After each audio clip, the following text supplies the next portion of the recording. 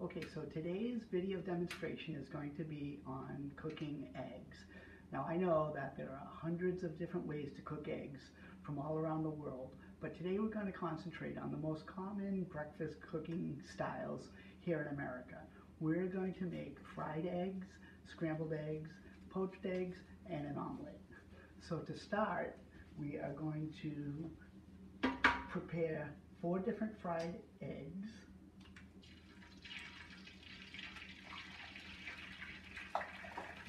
we're going to make a sunny side up egg. An over medium, an over hard, and an over easy.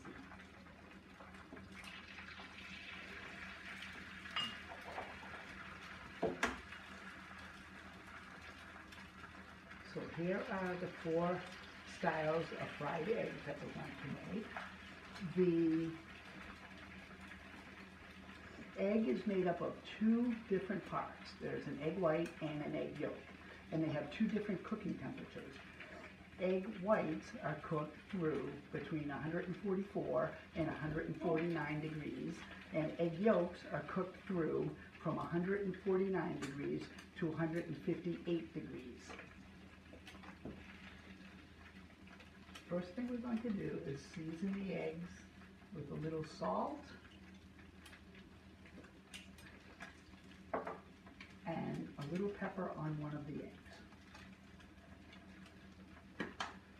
Eggs are a highly nutritious food. Most of the nutrients are found in the egg yolks. They're very high in protein, vitamins, and minerals. And the egg whites are protein, water with traces of vitamins and minerals.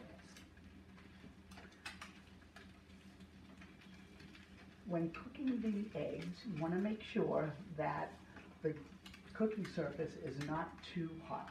We don't want to overcook the eggs and turn them into a rubbery consistency with a crumbly yolk.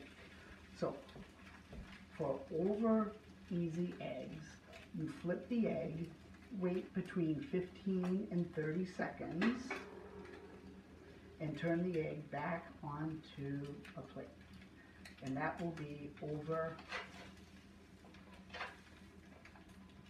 easy. Over medium eggs are cooked a bit longer, between 30 seconds to a minute on the side.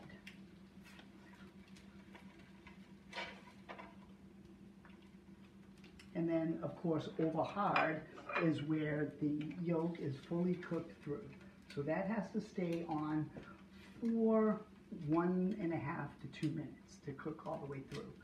The sunny side up egg should be nice and bright yolk, warm with the egg white fully cooked.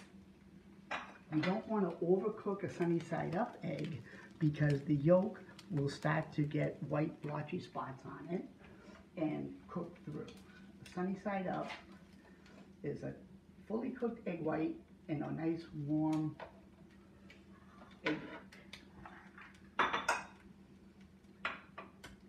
Different uses for the fried eggs are sunny side up, obviously the presentation is, is what you're going for. Nice bright yolk, and they're typically served either over toast, over potatoes, or over hash. Um, people that like sunny side up will also like over easy for the nice runny yolk over medium, the yolk is a little bit more solid, but still has some liquid to it. And over hard eggs, the yolk is cooked completely through for people that don't like runny yolks or for sandwiches where you don't want the yolk to run out of the sandwich. So there you have four different styles of fried eggs. Sunny side up, over easy, over medium, and over hard. So the next type of egg we're going to make is going to be scrambled eggs and poached eggs. Poached eggs are cooked in a liquid. In this case, it's water, a little salt, and always some acid added to the water. I used white vinegar because the acid helps congeal the egg whites around the yolk so the whites don't run in the whole pan. So while that's cooking, we'll now make our scrambled eggs. Scrambled eggs are the eggs completely blended together, so the, the whites and the yolks are completely blended together, added to a hot pan, and immediately start moving them around the pan. You want a nice, fluffy, airy texture, soft curds, and no moisture showing. Once the moisture is all cooked out, the eggs are done. If you overcook scrambled eggs, you run the risk of having a big puddle of liquid on the pan. And what that is, is the water in the egg whites are literally being wrung out of the eggs from the proteins. So do not overcook scrambled eggs. The next one will be uh, omelet.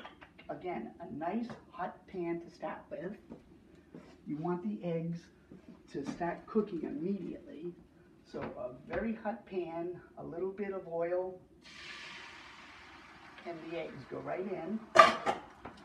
One of the things to keep in mind is you do not want to have a lot of eggs in the pan. If there's too much eggs, it takes too long for the omelet to cook, and you won't achieve that nice fluffy omelet texture that you're going for.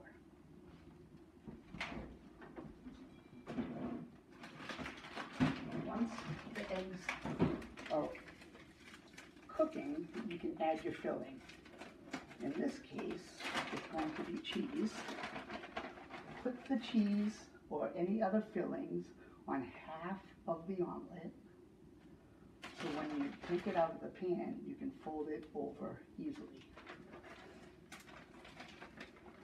This has only been about a minute or so, and it's nice and cooked through. There's no liquid showing, so time to take the omelet out of the pan.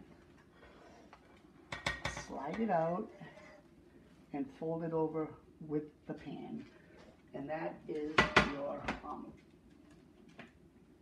While the omelet was cooking,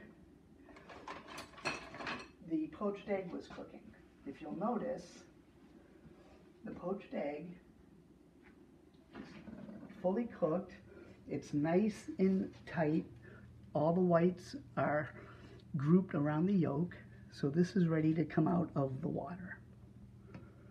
Always take it out with a slotted spoon. So you can drain away the excess water. And it goes right on your English muffin. So we made fried eggs, scrambled eggs, an omelet, and a poached egg. Thanks for watching.